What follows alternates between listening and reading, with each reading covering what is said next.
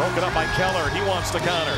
But Keller feathers one to the front. Galchenyuk and he scores!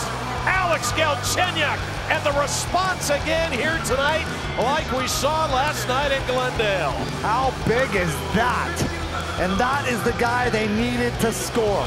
A little room low on the ice. That left pad just couldn't get over to make that save on Galchenyuk. That's a big goal, and you hope that gets him going, his fourth of the season. It's his turn as he comes in on Arundel. Alex Galchenyuk. He scores! That is dirty. That is dirty. What a goal. Comes in, good speed, gets moving to the right, comes left. Backhand, forehand, just over. Just gets that puck up high enough over that right pad. And for another pad save. Coyotes the other way. It's Alex Galchenyuk. He's in.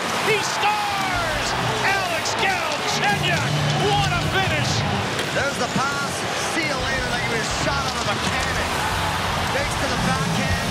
Pulls Marc-Andre Fleury out of his shorts and stuffs it. Short side. Does a lip stand as well on that near post. Pays a price as he wraps his lips around the post. Number 12 on the season.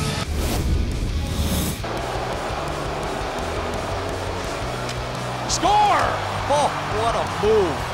He put Koskinen right down on his back before he put this in the back of the net. Beautiful.